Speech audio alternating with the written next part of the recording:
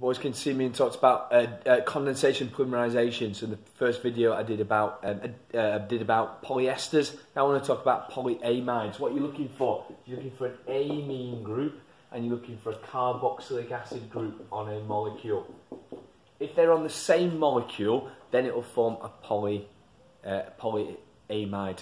What we got? We got amino acids, haven't we? Amino acids got a C double bond O, OH. On the neighbouring carbon, we have a nitrogen group. And there we have a hydrogen and probably an R group. So what happens? Well, if we have a look at this, the monomer, what, the small molecule that comes off is water. The OH comes off from here, so that'll be one end of my, uh, my monomer, and the hydrogen comes off here, so that's my other end of my monomer. So the ester linkage, sorry, the amide linkage, the peptide link looks like this. That's what you're looking for. And when you see that, the rest of it is just dead easy. You ask yourself the question, which is this carbon? It's this one here. What's next to it? A C with a H and an R. What's next to that one? An N, H, and there you go.